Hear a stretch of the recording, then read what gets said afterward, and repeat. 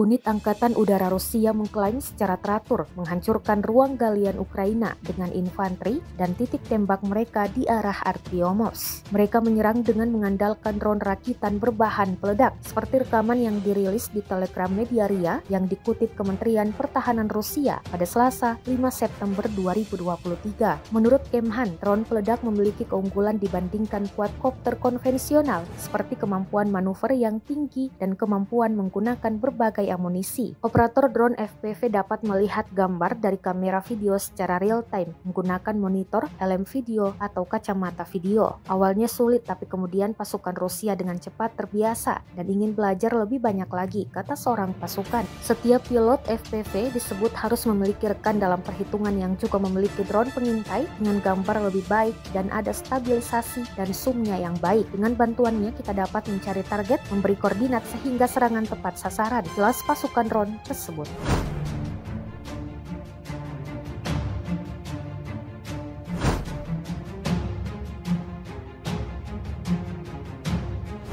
а потом быстро привыкаешь, и потом еще больше, больше хочешь чему-то научиться.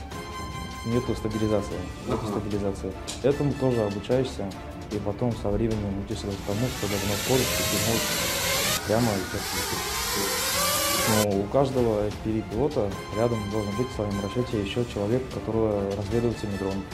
Картинка лучше, и, как говорится, стабилизация есть, и зум хороший.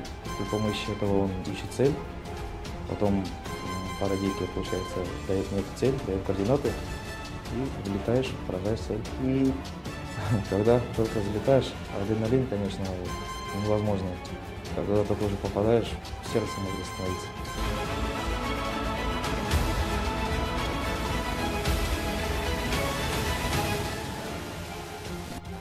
Ну, в основном работаем как бы пехота, окопы, техника, если вылазит. То есть здесь больше идет как бы это, внезапность больше. На внезапность это все работает.